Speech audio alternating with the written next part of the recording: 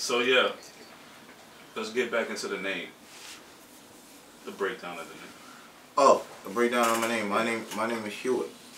Quad Um, boys. And a part of Hewitt, I chose to use Hue. Mm. That was the nickname that people, uh, when I was growing up, would choose to use me when I was in Jamaica or when I was young, you know, and uh, around here in America. Yeah. What I didn't re- crazy to keep pumping out singles. You, you not understanding that you have to promote your shit. You have to market yeah. your shit. You really have to. There's a whole science behind And when it's supposed to hit, it's gonna hit. Exactly. Yeah, yeah. I, I remember getting with people where we would go to an event and we had a plan. Mm-hmm. Where we had to go there and you had to get 20 motherfuckers to go to your Instagram. 20 niggas. Right. Like, we went there and nigga look at me like, huh? Like, bro, this is like a video game. Yeah, yeah, yeah, yeah. And the more you enjoy the video game. The more you become like a good player. So- God damn.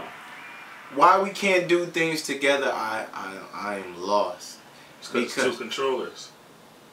Oh, Niggas real. God damn. God damn. Because it's two controllers. Yeah, but what that supposed to mean? Well, he said competition. They got- Right. Nah, but they it got. automatically makes competition.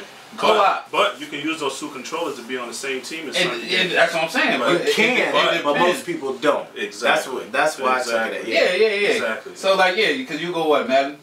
You Yeah. say that's automatic head to head. Oh, when No, them but you sticks could be on come the same out, team, don't get the stick in. You could be on the same team to beat the opposite nigga, but you sitting right next to the closest nigga that you rock with and you playing next to him. Metaphor